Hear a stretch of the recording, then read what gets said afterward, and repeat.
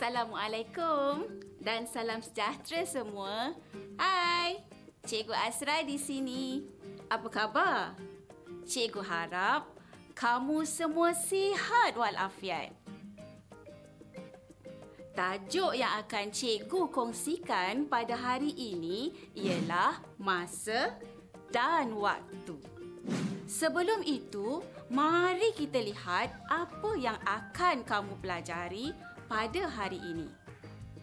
Kamu akan belajar menyatakan waktu dan urutan peristiwa dalam sehari dan menyelesaikan masalah yang melibatkan situasi harian.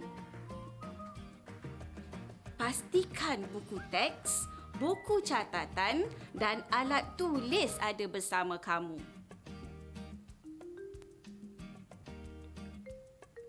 Cuba kamu lihat gambar ini. Gambar pemandangan gunung yang menghijau pancaran cahaya matahari yang menyinar. Langit yang membiru. Hmm, indahnya ciptaan Tuhan.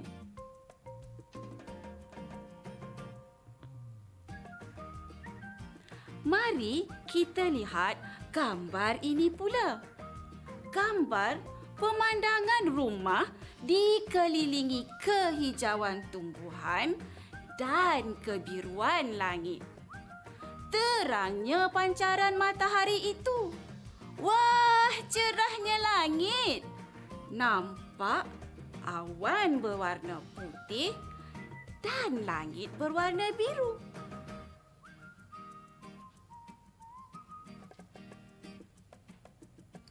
Bagaimana pula dengan gambar ini?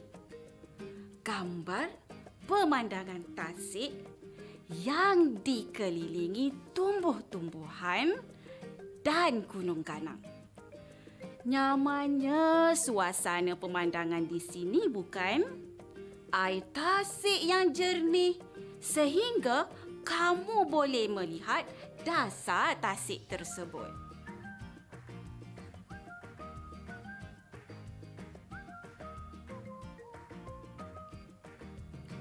tiga gambar yang berbeza menunjukkan tiga tempat yang berbeza. Apa yang kamu boleh ceritakan tentang gambar-gambar ini? Apa persamaan dalam gambar-gambar ini ya?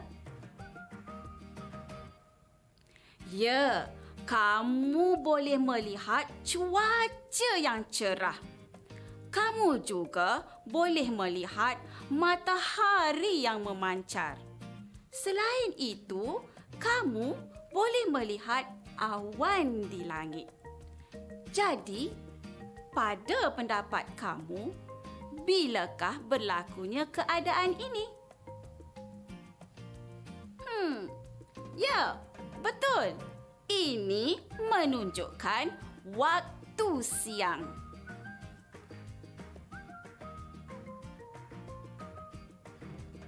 Bagaimana pula dengan gambar ini? Gambar pemandangan sebuah kampung dikelilingi pokok-pokok dan gunung ganang. Tetapi suasananya agak gelap berbanding gambar-gambar yang tadi. Dalam gambar ini juga menunjukkan bulan sabit dan gugusan bintang-bintang di langit. Cantiknya.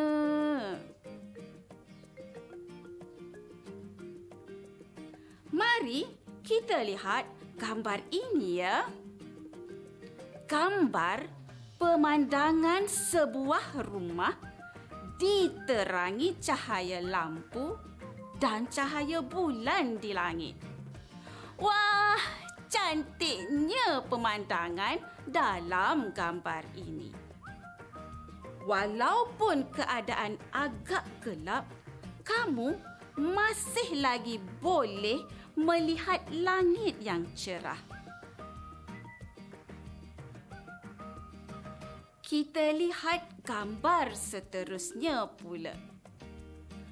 Hah, cantiknya macam dalam mimpi. Cahaya bulan yang sangat terang. Sehingga kan kamu boleh melihat pelbagai warna dalam gambar ini dengan jelas. Hmm. Masih lagi sama seperti sebelum ini.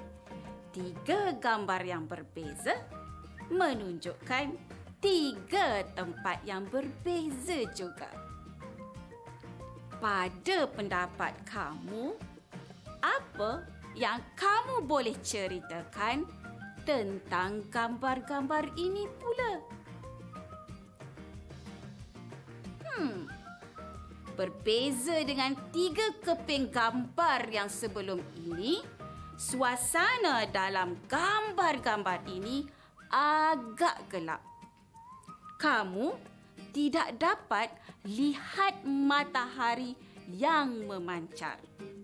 Sebaliknya, ia diganti dengan cahaya bulan yang terang dan kerlipan bintang-bintang yang bertaburan di langit. Jadi, pada pandangan kamu, bilakah berlakunya keadaan ini? Ya, tepat. Ini menunjukkan waktu malam kita sama-sama lihat buku teks muka surat 31. Mari kita bincangkan bila peristiwa-peristiwa ini berlaku. Kamu boleh berikan pendapat kamu kenapa kamu berikan jawapan itu. Pada pendapat kamu, bila peristiwa ini berlaku? Gambar ini menunjukkan seorang budak perempuan sedang mengemas tempat tidurnya. Jadi, gambar ini menunjukkan siang atau malam. Ya, biasanya kita bangun tidur di waktu pagi dan mengemaskan tempat tidur kita. Mari kita bincang bila peristiwa ini berlaku. Gambar ini menunjukkan seorang budak perempuan sedang membantu ibunya mencuci pinggan selepas makan. Siang atau malam? Hmm, ada di antara kamu menjawab gambar ini menunjukkan waktu malam kerana jam di dinding itu menunjukkan pukul 8 dan kamu mengandaikan ianya waktu malam. Budak perempuan itu membantu ibunya mencuci pinggan selepas makan malam. Tetapi ada juga di antara kamu mengandaikan ianya di waktu pagi. Dan budak perempuan itu membantu ibunya mencuci pinggan selepas sarapan pagi.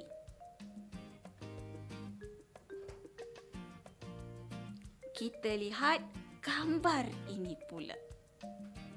Gambar ini menunjukkan seorang lelaki melihat penyu bertelur di tepi pantai. Siang atau malam. Kenapa ya? Ya, tepat sekali. Penyu bertelur pada waktu malam.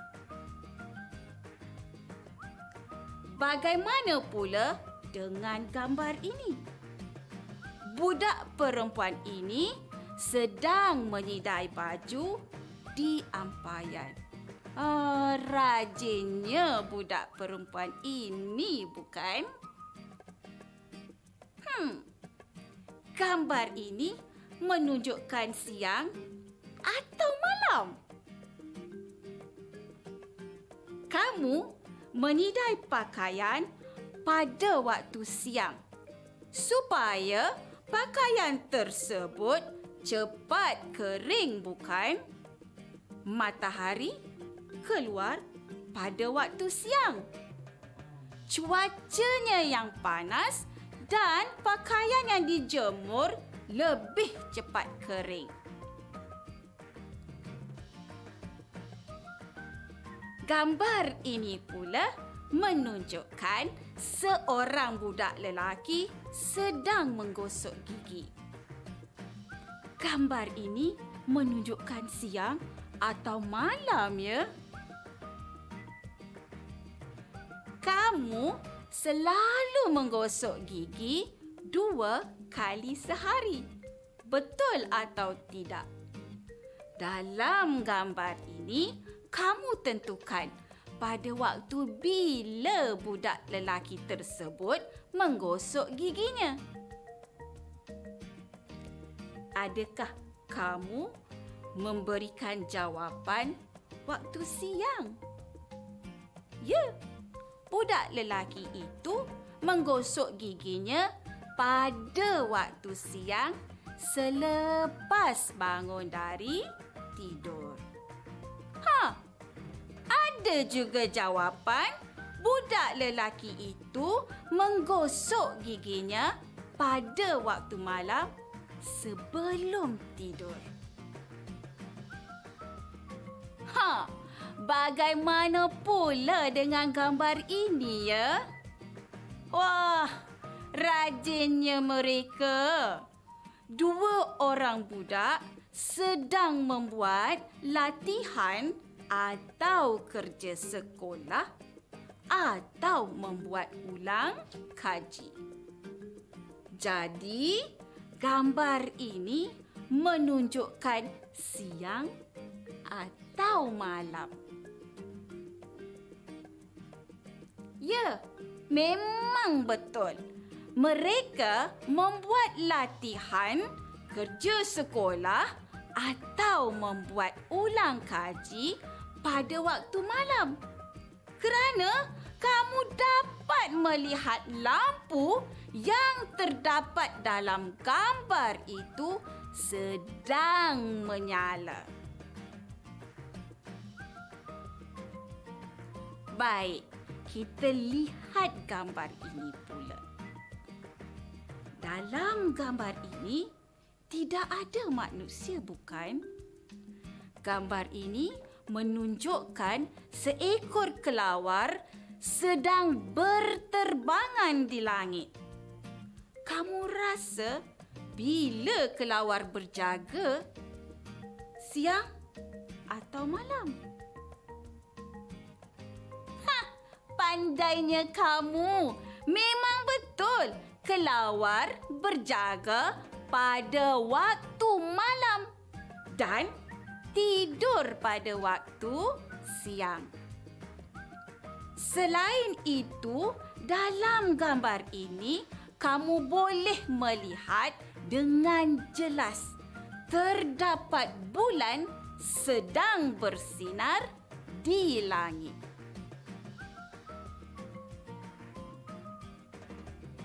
Mari kita lihat gambar yang terakhir pula.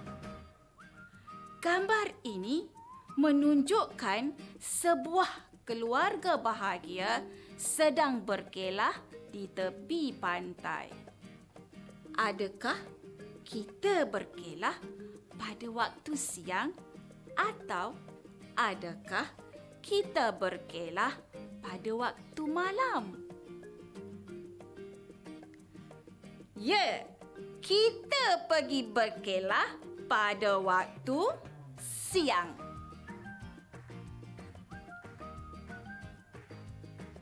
Kamu perasan ataupun tidak? Aktiviti-aktiviti yang ditunjukkan dalam gambar di sebelah kiri menunjukkan aktiviti-aktiviti yang biasanya kita lakukan pada waktu siang.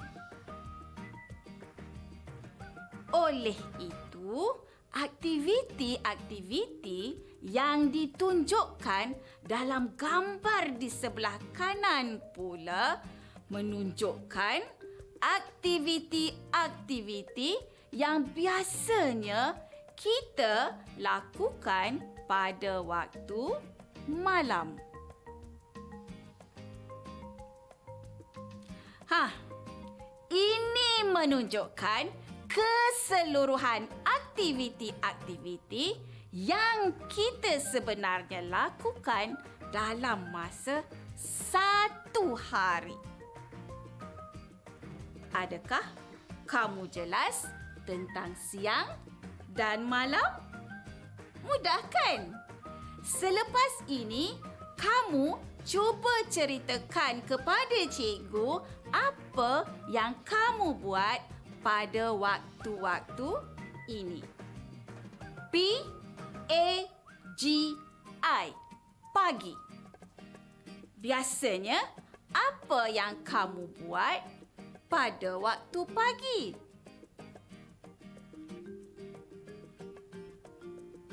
Mari kita lihat gambar ini. Biasanya pada waktu pagi kita mulakan hari kita dengan bangun dari tidur. Kemas tempat tidur, lakukan senaman ringkas dan terus ke bilik air untuk cuci muka, gosok gigi dan mandi. Apa lagi yang kamu buat pada waktu pagi? Cuba kamu lihat gambar ini pula. Di mana mereka dan apa yang mereka lakukan? Hmm. Ya, yeah. gambar ini menunjukkan suasana di dalam kelas. Sedang belajar bukan? Ramai di antara kamu pergi ke sekolah pada waktu pagi. Betul atau tidak? Sekarang kita lihat waktu tengah hari pula. Cuba kamu ceritakan apa yang akan kamu lakukan pada waktu tengah hari. Boleh kamu beritahu cikgu apa yang kamu dapat lihat dalam gambar yang pertama ini. Adakah kamu rasa murid perempuan ini hendak ke sekolah atau pulang dari sekolah. Ya, murid perempuan ini sedang berjalan pulang dari sekolah. Baiklah, bagaimana pula dengan gambar yang kedua ini? Hmm, sedapnya. Pada waktu tengah hari, biasanya ibu kamu menyediakan masakan yang sangat enak untuk kamu. Setelah kamu penat belajar di sekolah, kamu tentu lapar. Betul atau tidak? Pagi sudah tengah hari pun sudah. Cuba kamu ceritakan apa yang kamu lakukan pada waktu petang pula? Apa yang selalu kamu lakukan pada sebelah petang ya? Hmm. Kamu tentu penat seharian di sekolah. Pada waktu inilah kamu ingin berehat seketika. Kamu menonton rancangan televisyen kegemaran kamu. Hmm, terutamanya rancangan kartun. Selain itu, pada waktu petang juga kamu beriadah bersama rakan-rakan kamu. Kamu juga dapat mengeluarkan peluh supaya menyihatkan tubuh badan. Malam. Apa yang kamu lakukan pada waktu malam ya? Boleh kamu ceritakan kepada cikgu? Murid dalam gambar ini sedang menyiapkan kerja sekolah yang diberikan oleh gurunya. Ha, adakah kamu juga sama seperti murid ini? Ha, bagusnya kamu. Cikgu bangga dengan kamu. Setelah penat seharian bergerak ke sana kemari, tubuh badan kamu perlu berehat. Hmm. Maknanya di akhir hari kamu perlukan tidur yang mencukupi untuk aktiviti pada keesokan harinya.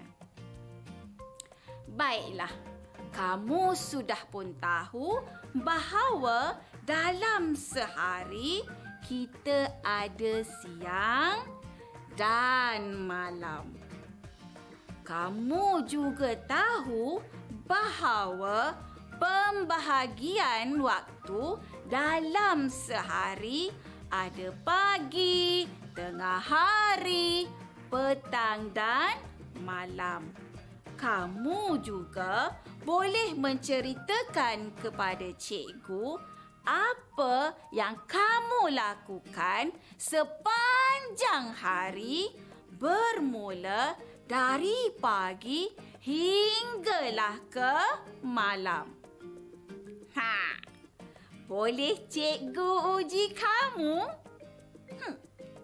Boleh kamu sebutkan aktiviti yang dilakukan dalam gambar-gambar ini dan boleh kamu sebutkan waktunya?